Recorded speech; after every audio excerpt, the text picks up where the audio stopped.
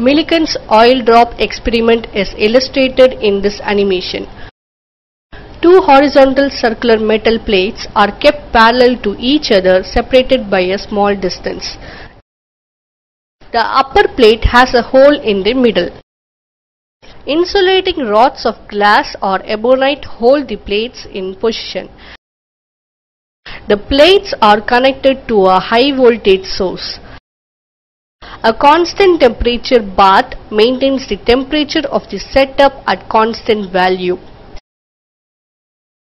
An atomizer produces fine droplets of a highly viscous liquid like oil. Oil drops enter through the hole in the upper plate and move between the plates. The droplets are illuminated by a powerful lamp. The drops are seen through a microscope whose eyepiece is provided with a micrometer scale. First the oil drops are accelerated due to their weight. The weight of the drop is balanced by the viscous force. Now the drops attain a terminal velocity which is measured.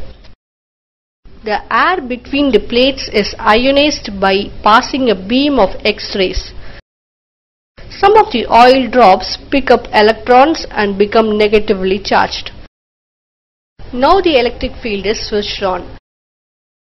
The negatively charged oil drops move upwards with the terminal velocity.